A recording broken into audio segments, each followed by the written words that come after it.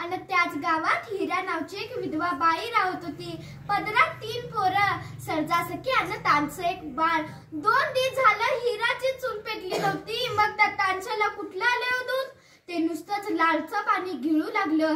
पण त्या पावसाकडे बघत हिराच्या मनात विचार आला की आठ दिवसांपूर्वी आपल्या भावाचा सांगावा आला होता की अक्का मला लय बरं नाही. मला बघायला आहे आपला भाऊ खच्या गावाचा आहे दोन वक्ताचं नाही पण एखाद्या वक्ताचं खायला मिळालं तरी चालल तिचा निर्णय पक्का झाला. हिरा पण त्या पावसात माहेरी निघाली. हिराचं माहेर भत्ताच्या वड्याच्या पलीकडे होतं. ती काठावर उभी राहिली.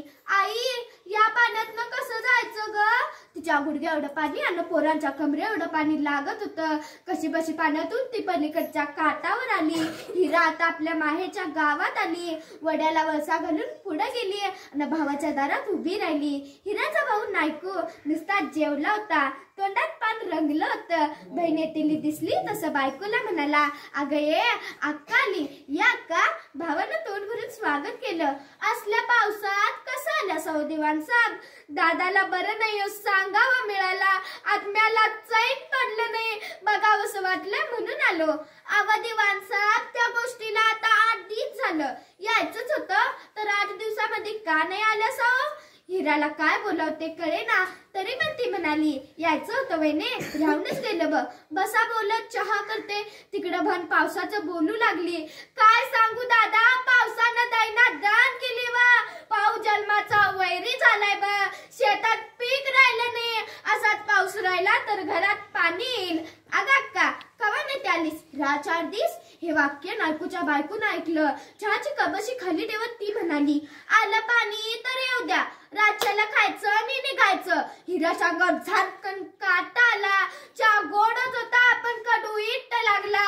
नायकूच्या बायकोनं नायकूला आत नेलं. आणि म्हणाली म्हणजे भनीची तुम्हाला कळकळ आहे? आणि भनीला तुमची कितची कळकळ आहे हो?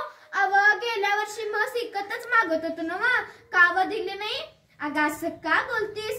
ती म्हस तिची नव्हती अर्धलीनं आणली होती. अव मी काय मग चुक देत होतो पैकच तर देत होतो ना हे सर्व बोलणे हिराच्या कानावर जात होते. पदराचा बोळ तोंडात गच्च धरून तसाच आवंडा गिळत होती. आईबाबाच्या माघारी भावाच्या दारातून आपण चूक केली असं तिला वाटत होतं. उरावर दगड ठेवून ऐकू बाहेर आला आणि म्हणाला अगा अक्का का ग बोले नास तुला आठवते का ग? लहानपणी भत्ताच्या वड्यावर आपण धुवायला गेलतो. तेव्हा मी वाहून जात होतो. तेव्हा तूनेच का ग नाही मला वाचवलंस? तेव्हा तू वाचवलं नसतंस तर माझं काय झालं असतं ग?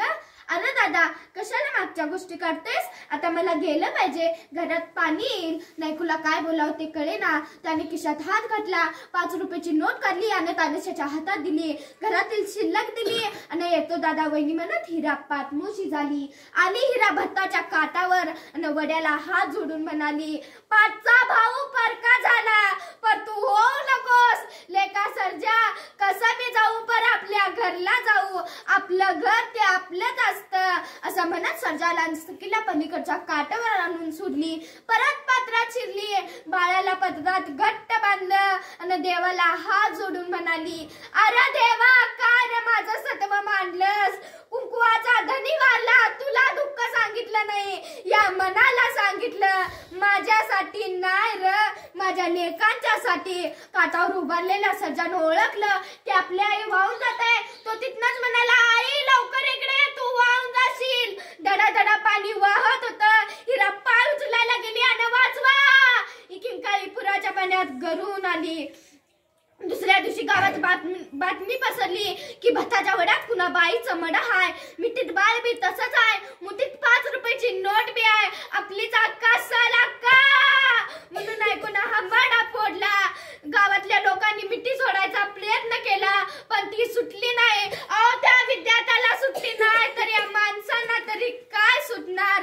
सर्जानं प्रेताला अग्नी दिला आणि मामाला जाऊन म्हणाला मामा माझ्या आईला न बाळाला एवढी सगळी लोक मिळून का चालत्यात नायकून सर्जाला जवळ घेतलं आणि